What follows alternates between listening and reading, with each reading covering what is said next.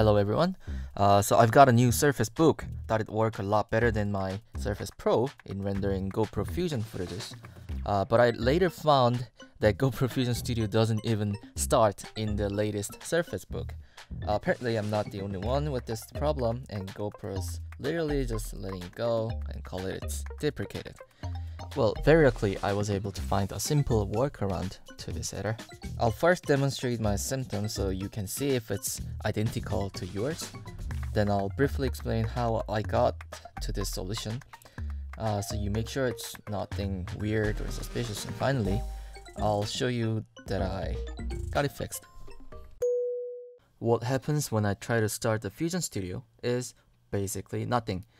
If you observe it through the process monitor, it appears on the process list for a very short amount of time then disappears.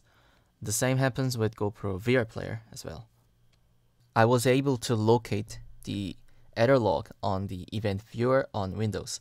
It points out one DLL file called um, lippy, lip, EAY, whatever that's called. I later googled it and it appears to be a SSL related library, which I thought is a minor thing in Fusion Studio. You can find the file in the installation path of Fusion Studio. Uh, all I've done is changing the, the name of it so the computer doesn't find it when it's launching Fusion Studio. And you'd probably want to do the same with VR Player so you can check the rendering result after we fix uh, the studio. Now, uh, hit the Fusion Studio icon and boom it's finally showing up on my Surface Book.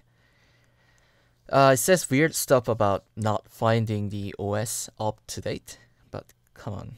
Surface Book 3 came out after Fusion was discontinued. I'll just pick any Fusion footage on my computer and see if Fusion Studio can actually do its job like it's supposed to.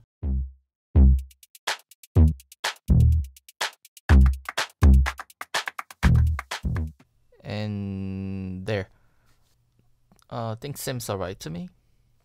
I kind of don't understand why GoPro isn't willing to give this tiny support to their users. Uh, it could have been like super easy to resolve if they actually try to help, so I don't need to do all this by myself.